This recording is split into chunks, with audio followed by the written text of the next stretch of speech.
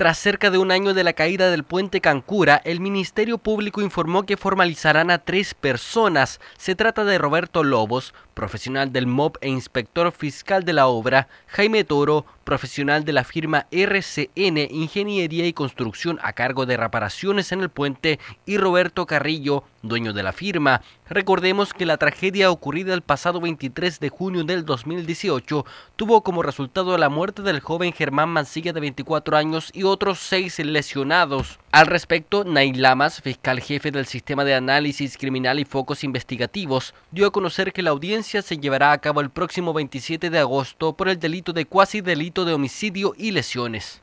Básicamente estamos pidiendo formalizar a tres imputados por el delito de por un cuasi delito de homicidio y cuasi delito de lesiones. La audiencia quedó fijada para el día 27 de agosto en el juzgado de garantía de Río Negro.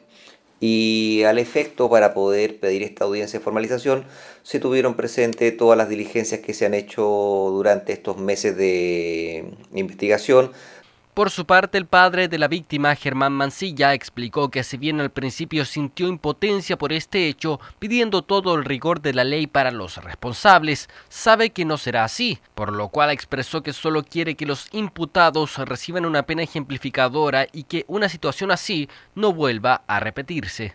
Y se le cayó el puente a, estos tipos.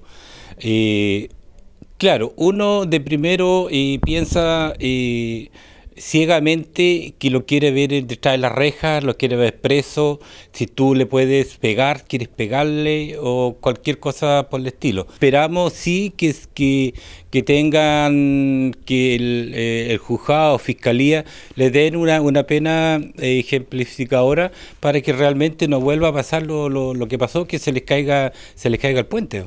Mancilla sabe y asegura que existen más involucrados en la muerte de su hijo, producto de la caída del puente Cancura, los cuales, dijo, tendrán que dar la cara y asumir su error en esta tragedia.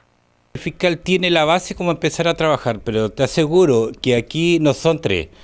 Aquí van a seguir sumando mucha más gente, porque no puede ser que tres personas eh, sean responsables de la construcción de un, eh, perdón, de la reparación de un puente y posteriormente después se les caiga. Entonces, eh, es obvio que aquí hay mucho más personas, el fiscal lo ha dicho, de aquí voy a, va a comenzar a trabajar y estoy seguro que hay, hay mucha, mucha más gente que, que tiene que ir y que mm, obviamente tiene responsabilidades igual en este caso.